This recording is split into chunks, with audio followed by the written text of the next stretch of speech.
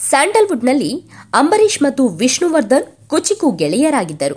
ಅವರಿಬ್ಬರ ನಂತರ ಆ ಸ್ಥಾನ ತುಂಬುತ್ತಾ ಇದ್ದದ್ದು ದರ್ಶನ್ ಹಾಗೂ ಸುದೀಪ್ ಅವರು. ಇಬ್ಬರ ನಡುವೆ ಇದ್ದ ಫ್ರೆಂಡ್ಶಿಪ್ಗೆ ಅದ್ಯಾವ ಕಣ್ಣು ಬಿತ್ತೋ ಏನೋ. ಇದ್ದಕ್ಕಿದ್ದ ಹಾಗೆ ದೂರ ಆಗಿಬಿಟ್ಟರು. ಅಂದು ಮುರಿದು ಬಿದ್ದ ಫ್ರೆಂಡ್ಶಿಪ್ ಮತ್ತೆ ಒಂದಾಗಲೇ ಇಲ್ಲ. ಎಷ್ಟೋ ಜನ ಒಂದುಗೂಡಿಸುವುದಕ್ಕೆ ನೋಡಿದ್ರೂ ಊಹು, ಆಗಲೇ ಇಲ್ಲ.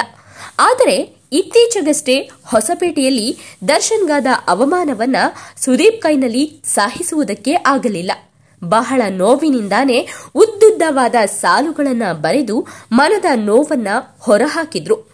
ದರ್ಶನ್ ನನ್ನ ನಡುವೆ ಏನೇ ಭಿನ್ನಾಭಿಪ್ರಾಯವಿದ್ದರೂ ಆ ಘಟನೆಗೆ ಆತ ಅರ್ಹನಲ್ಲ ಎಂದೇ ಹೇಳಿದ್ದರು ಸುದೀಪ್ ಏನೋ ಟ್ವೀಟ್ ಮಾಡಿದ್ರು.